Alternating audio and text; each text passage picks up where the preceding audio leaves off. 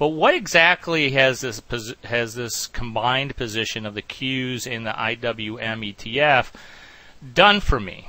Well, what it's done really is given me not only a guaranteed profit of $478 at expiration, even if it doesn't move, but it also has given me unlimited upside potential and unlimited downside potential. As you can see, I can't lose money on this position.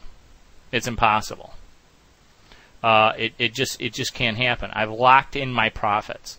So uh, if the, if I you know if the market just stays the same, well, I've got $554 open profit. I'm guaranteed a profit of $478 at expiration. Now remember, we're only using a few contracts here.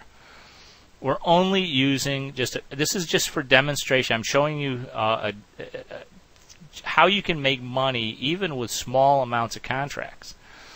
Now, if I was doing 10 times as many contracts, obviously I'd have a guaranteed profit of $5,000. I mean, it doesn't get any easier than this.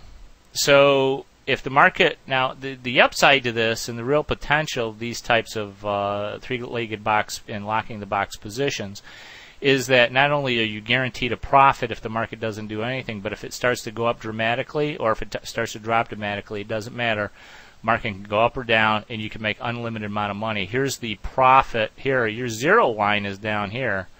Um, you have nothing but profit, whether it goes down or it goes up. Um, so that's the power of the kind of trading that we do is that you know you oh, you try to hedge your positions as much as possible. You try to manage the risk. We manage these risks by the numbers.